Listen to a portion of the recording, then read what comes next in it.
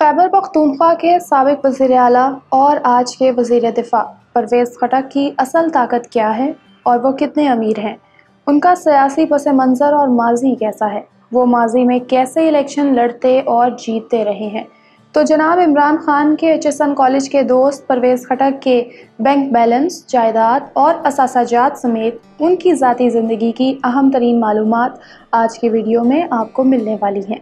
Election box की इस नई वीडियो में खुश आमदीद और मैं हूँ अथरूबा रजा इससे पहले कि वीडियो का बाकायदा आगाज़ करें, आपसे रिक्वेस्ट है कि हमारी इस वीडियो को लाइक कर दें। अगर पहली बार हमारे चैनल पर आए हैं तो इसे सब्सक्राइब करें और बेल आइकन वाली घंटी दबाते हुए ऑल पर क्लिक कर दें, ताकि हमारी नई वीडियो सबसे पहले आप ही को मिल सकें। और आप मुझे इंस्टाग्राम पर भी फॉलो कर सकते हैं, जिसका लिंक डिस्क्रिप्शन में दिया गया है। आज से सत्तर बरस कबल मानकी शरीफ के नज़दीक एक गाँव में सरकारी ठेकेदार हस्तम खान खटक के घर में जनवरी 1950 को बेटा पैदा हुआ, जिसका नाम परवेज़ रखा गया। परवेज़ खटक ने इब्तदाई तालीम अपने गाँव में रहते हुए हासिल की। फिर वो लाहौर आकर एच एस एन कॉलेज में पढ़ते रहे। याद रहे कि वज़ी अजम पाकिस्तान इमरान खान और सबक वज़ी दाखिला चौधरी निसार अली ख़ान भी उन दिनों एच एस एन कॉलेज में जेर तालीम थे। परवेज़ खटक इमरान खान से सीनियर थे। कहा जाता है कि तब परवेज़ खटक पढ़ाई के साथ साथ खेलों में भी दिलचस्पी रखते थे और अपने कॉलेज के ज़बरदस्त एथलीट थे। परवेज़ खटक रावलपिंडी के गोल्डन कॉलेज में भी पढ़ते रहे और यहाँ से उन्होंने ग्रेजुएशन की। दोस्तों, आप परवेज़ खटक की शादी की इस तस्वीर में उनके दोस्त चौधरी निसार अली ख़ान को भी देख सकते हैं। परवेज़ खटक ने अपनी सियासत की शुरुआत ज़िया दौर में की। उन्होंने उन्नीस सौ तिरासी में पहली बार बल्दियाती इंतबात में हिस्सा लिया और नौशहरा से डिस्ट्रिक्ट कौंसिल के रुकन मुंतखब हुए। बेनज़ीर भुट्टो की वतन वापसी हुई तो परवेज़ खटक पीपल्स पार्टी में शामिल हो गए।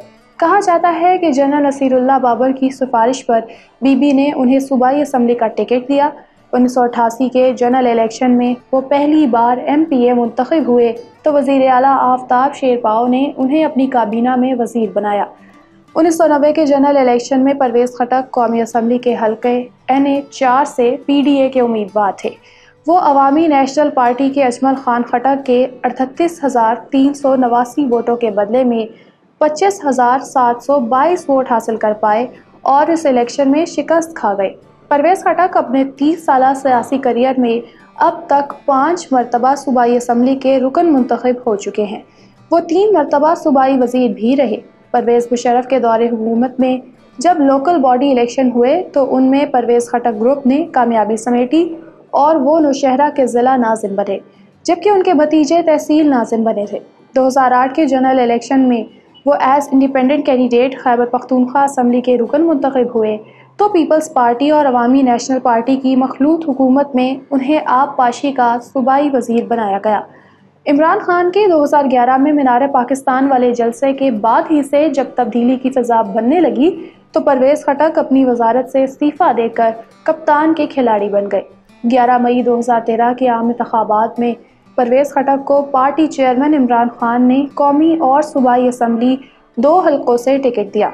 कौमी असम्बली के हल्का एन ए पाँच में उन्होंने जमात इस्लामी के सबक अमीर काजी हुसैन अहमद के साहबजादे, आसिफ लुकमान काजी के उन्नीस हज़ार सात सौ नवासी और ए एन पी के मोहम्मद दाऊद फटक के इक्कीस हज़ार एक सौ पचासी वोटों के मद्दे मुकाबिल उनहत्तर हज़ार आठ सौ तिहत्तर वोट समेटे और यूँ एक वाजिया बरतरी के साथ वो इलेक्शन जीत कर एम एन ए मुंतखब हुए। वो इसके साथ एम पी ए भी इलेक्ट हुए थे। कप्तान ने उन्हें खैबर पख्तूनख्वा का वज़ीर अला बनाने का फैसला किया। परवेज़ खटक ने इकतीस मई 2013 के रोज़ अपने अहदे का हल्फ उठाया और वो पूरे पाँच साल तक खैबर पख्तूनख्वा सूबे पर हुकूमत करते रहे। 2018 के जनरल इलेक्शन में नौशहरा के हल्के एन ए पच्चीस से परवेज़ खटक ही पी टी आई के कैंडिडेट थे। उन्होंने पीपल्स पार्टी मुतहदा मजलिस अमल और अवामी नेशनल पार्टी के उम्मीदवारों को बड़े मार्जिन से शिकस्त दी और एक बार फिर से इस्लामाबाद के पार्लियामान तक पहुँचे। 2018 का इंतखब जीतने के बाद इमरान खान पाकिस्तान के प्राइम मिनिस्टर बने तो उन्होंने परवेज़ खटक को अपनी कैबिनेट में शामिल करते हुए वजारत दिफा का अहम तरीन कलमदान सौंपा। यहाँ मैं आपको बताती चलूँ कि सिर्फ़ परवेज़ खटक ही नहीं, बल्कि उनके ख़ानदान के कई और लोग भी मैदान सियासत और इकतदार में हैं। यही वजह है कि उन्हें मौरूसी सियासत का ताना भी दिया जाता है। परवेज़ खटक का दामाद डॉक्टर इमरान खटक इस वक्त एम एन ए है। उनकी भाभी नफीसा खटक और भांजी साजदा बेगम भी इस वक्त वुमेन रिज़र्व सीटों पर कौमी असम्बली की मेंबर्स हैं। परवेज़ खटक के भाई लियाकत खटक इस वक्त एम पी ए और सूबाई वज़ीर हैं, जबकि परवेज़ खटक का बेटा इब्राहिम खटक भी इस वक्त खैबर पख्तूनख्वा असम्बली का रुकन है। अगरचे परवेज़ खटक इस वक्त सूबे के वज़ीर अला नहीं हैं लेकिन फिर भी लोगों का ये मानना है कि खैबर पख्तूनख्वा में अभी तक उन्हीं की गिरफ्त है। और वैसे भी वफाकी वज़ीर दिफा परवेज़ खटक ये दावा कर चुके हैं कि वज़ीर अला महमूद खान तो मेरे बगैर हिल भी नहीं सकते। जो मैं कहता हूँ, महमूद खान वही करते हैं। परवेज़ खटक सोशल मीडिया का इस्तेमाल भी करते हैं। वो ट्विटर पर काफ़ी मुतहरक हैं और उनके फॉलोअर्स की तादाद तकरीबन सवा तीन लाख से करीब है, जबकि फेसबुक पर उनके तेरह लाख से ज़्यादा परस्तार हैं। परवेज़ खटक कितने अमीर हैं? तो जनाब, इलेक्शन कमीशन में जमा करवाए गए कागजात नामजदगी के मुताबिक उनके 12 करोड़ छियानवे लाख छियालीस हज़ार और एक सौ रुपये के एसेट्स हैं। अगर बात करें परवेज़ खटक के ज़ाती घरों और रिहायशी जायदाद की तो खैबर पख्तूनख्वा के ज़िला नौशहरा की मानकी शरीफ तहसील में बदराशी खेल में उनका आबाई घर है। पंजाब के पुरफजा सियाहती मुकाम मरी में भी उनके दो घर हैं। लाहौर के डिफेंस एरिया में उनकी अहलिया अमरा खटक के नाम एक घर है। ज़रूरी अराजी के हवाले से परवेज़ खटक ने अपने नॉमिनेशन पेपर्स में लिखा कि उनके पास मजमू तौर पर 216 कनाल ज़मीन है, जो कि सत्ताईस एकड़ बनते हैं। अगर परवेज़ खटक के कारोबार और ज़राए आमदन की बात करें तो उन्हें मेंबर नेशनल असम्बली और फेडरल मिनिस्टर की तनख्वाह के अलावा कई मुराद मिलती हैं। ज़रूरी अराजी से भी उन्हें ठीक ठाक आमदन हो जाती है। इसके अलावा उनके प्लाजे और मार्केटें हैं, जहाँ से किरायों की मद में भी अच्छी खासी इनकम होती है। उनका अपना प्रॉपर्टी का बिज़नेस भी है। याद रहे कि परवेज़ खटक खातन के लिबास के एक ब्रांड, स्टूडियो सेवन में भी शराकत दार हैं।